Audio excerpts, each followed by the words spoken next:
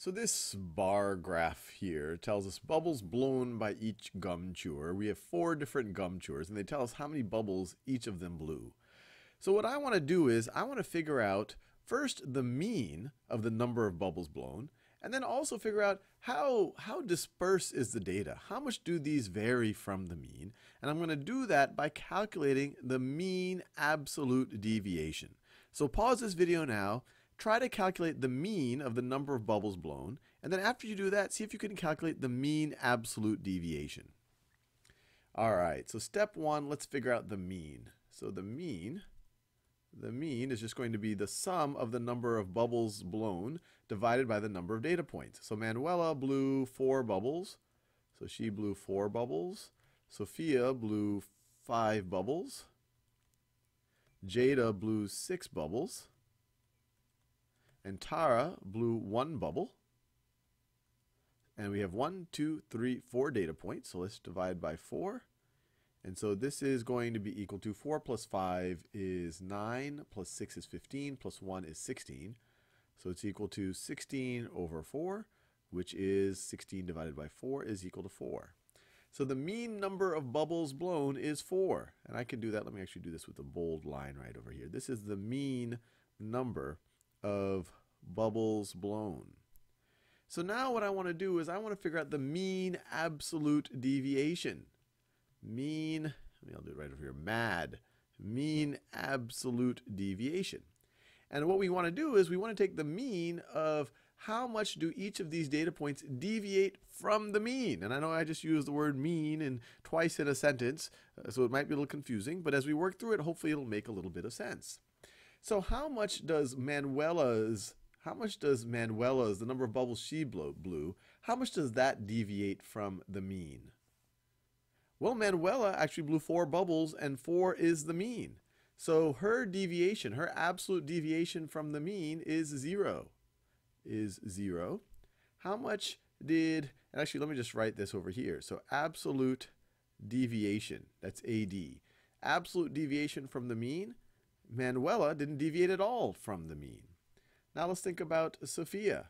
Sophia deviates by 1 from the mean. We see that right there. She's 1 above. Now, we would say 1 whether it's 1 above or below because we're saying absolute deviation. So Sophia deviates by 1. Her absolute deviation is 1. And then we have Jada. How much does she deviate from the mean? We see it right over here. She deviates by 2. She is 2 more than the mean. And then how much does Tara deviate from the mean? She is at 1, so that is 3 below the mean. That is 3 below the mean. So once again, this was 2, this is 3. So she deviates, her absolute deviation is 3.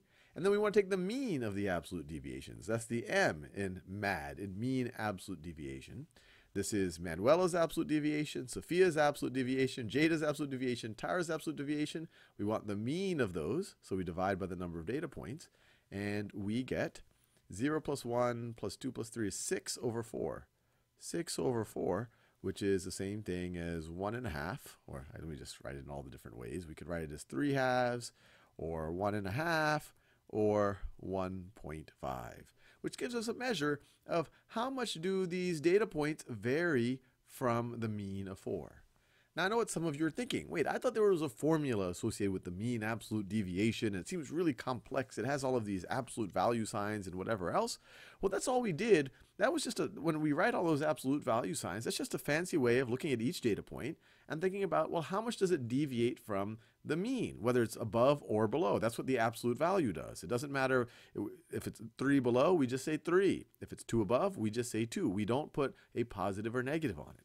But just so you're comfortable seeing how this is the exact same thing you would have done with the formula, let's do it that way as well. So the mean absolute deviation is going to be equal to, well, we'll start with Manuela. How much, how many bubbles did she blew, blow? She blew 4. From that, you subtract the mean of 4, take the absolute value.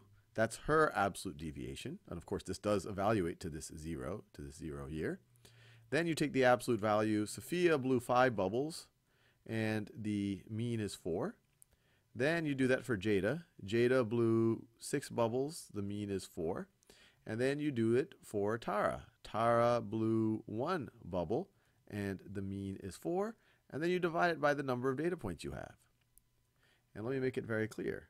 This right over here, this 4 is the mean. This 4 is the mean. So you're taking each of the data points and you're seeing how far it is away from the mean. You're taking the absolute value because you just want to figure out the absolute distance. Now you see, or maybe you see, 4 minus 4, this is, let me just in a different color. 4 minus 4, that is the 0. That is that 0 right over there. 5 minus 4, absolute value of that, well, that's going to be, let me this in a new color. This is just going to be 1.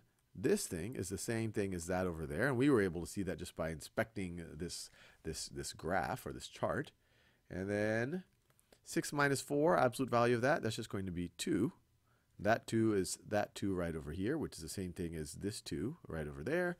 And then finally, our 1 minus 4, that's negative 3, but the absolute value of that is just positive 3, which is this positive 3 right over there, which is the distance, this distance right over here. You divide it by 4, you get 1.5 again. So hopefully you found this mean absolute deviation example as interesting as I did.